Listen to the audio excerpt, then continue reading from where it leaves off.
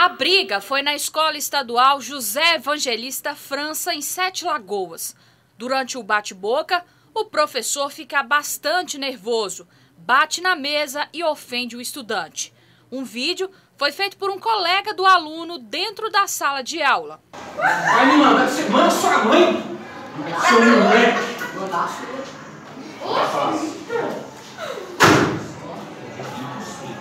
Fala minha mãe, não, seu vagabundo? Você cala boca, seu lixo!